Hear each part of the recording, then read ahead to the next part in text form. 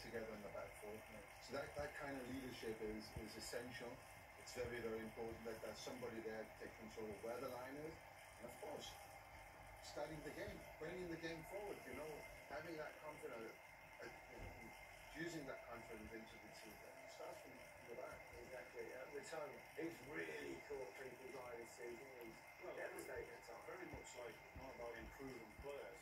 Um, he wasn't used as much under Potter, but De Zerbi has encouraged him, found a way how to use him best, and some of the football that he's playing, the ability that he has. I mean, ten goals this season, four in the FA Cup. They bought him very much like a lot of their recruitment, Gary, has been unbelievable. Yeah. 2.7 million. I know that they sent him on loan.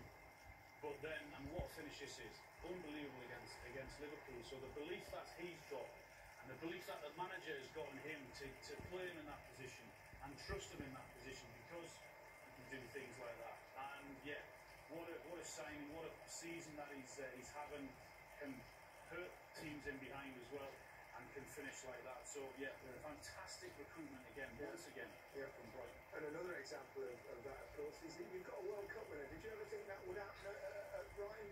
Alexis Mac Allister's completely with you. I did not think we'd have a World Cup. Maybe one at the back end of his career, but one in his, not one in his prime like Alexis. I mean, How good is he?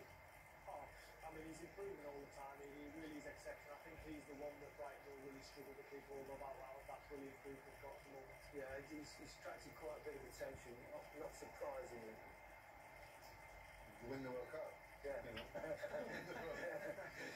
and he started in the Yeah. final as well. So Yeah. I mean, he, he uh, he's, been, he's been a revelation. When you have players like that, I mean, that, Yeah. uh, the recruitment, the, Yeah. yeah, no, we're talking about the players, right? Who, uh, as Paul Barber, Yeah. Yeah. the CEO, Yeah. I was at a talk where he talked about how they were sort of, this is like four years ago, and he said, I operate with a dynamic list of managers all the time. Yeah. I do, because people people think, well, they only interview this you know? But they always know, because anything can happen. Yeah. They know, if this happens now, if Potter leaves, if, if